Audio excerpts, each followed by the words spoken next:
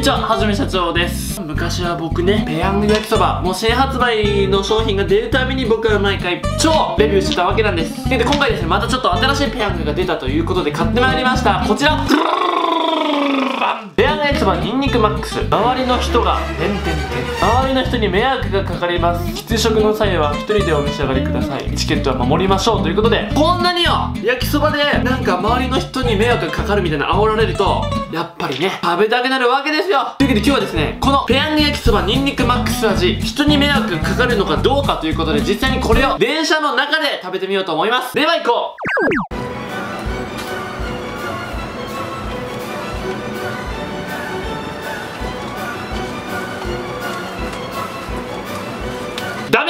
そんなことはしちゃいけません。もうしちゃダメなんでちょっとね家で1人で食べてどんな感じになるのかちょっと感じてみようと思う。多分よっぽどひどいんでしょうね匂いは。もう全然。普通普通にとりあえず作ってみますね。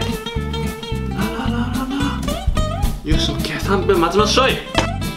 あの、全く関係ない余談なんですけども、実は僕今日からちょっとね、今週はちょっとイベントの週なんで、とりあえず今日が実はですね、ファンフェスタっていう YouTube のイベントがあって、僕の入ってる事務所のイベント U フェスっていうのが今週末にあって、さらに来週にですね、また一個ちょっとね、イベントのね、ちょっと MC チェックなことをしなきゃいけなくて、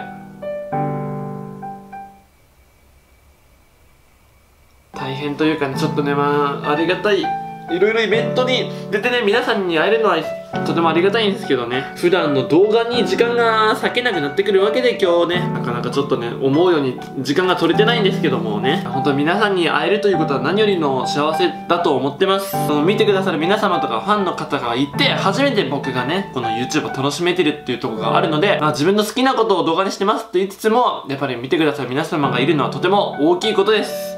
いつも見てくださる方本当にありがとうございます。で今回その YouTube ファンフェスタと U フェスとかねいろんなイベントがあるんですけどもまあ実際に会えるのはすごい嬉しいですしもしね今後ね今回来れなかったっていう方もたくさんいると思います。来年とかもぜひそういう機会を作るんで動画見てくださるだけでも僕はとても嬉しいんですけどもやっぱ実際に会ってねこうなんうわうんとりあえずねいつもありがとうっていうことです。僕と直接会う機会があったらぜひ皆さん実際にやってね喋りましょう。みんな愛してるぜ。いや本当にね。本当にありがとうみんないつも。はいっていう話をしてるうちに3分ぐらい経ったかな。湯切り行ってみます。はいというわけでぶち湯切ってきました。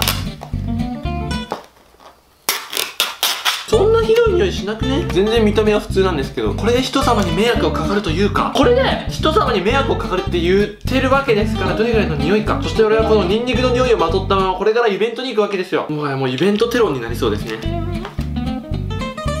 ああなるほど。なるほどな。ちょっとお箸ないかな。ああこういう匂いか。僕ねあんまりねそのニンニク臭いっていうのがよくわかんないんですけども。うわああああ臭い。臭いぞ。今感じた。今初めてニンニク臭いっていうものを身をもって感じた鼻をツーン。今鼻ツーン。鼻ツーン。鼻ツーン。これがニンニク臭いっていうのは見た目だけ見てもあんまりわかんないと思うんですけどもこれこれ美味しいのかな？これさでもさ美味しかったら全然問題ないんですよね。ただ匂いは本当半端ねえぜ。いただきます。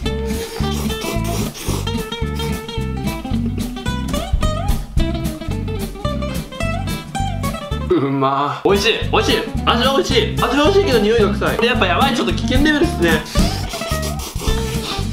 臭っ。ごちそうさまでした。うまい。さすがペヤングです。美味しい。美味しいんですけども食ってる本人も多分匂いで鼻がツンってするぐらいちょっとねあれだったんです。よかったら皆さん家でぜひ食べてみてください。では私はイベントに行ってきます。今年ももう少しなんですけどもね今年も来年もその先もまたねよろしくお願いします。というわけで感謝の気持ちを伝えにイベントに行ってきます。じゃあな